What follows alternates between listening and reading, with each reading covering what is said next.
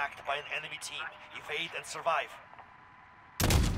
Your teammate was sent to the Gulag. They'll fight for a chance to redeploy.